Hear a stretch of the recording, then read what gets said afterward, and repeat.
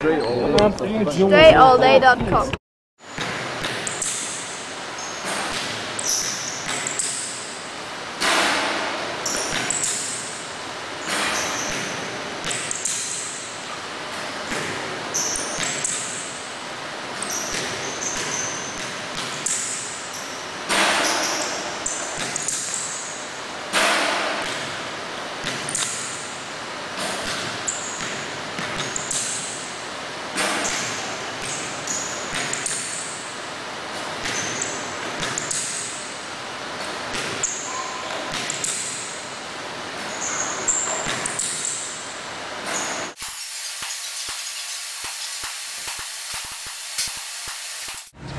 That's it. So what?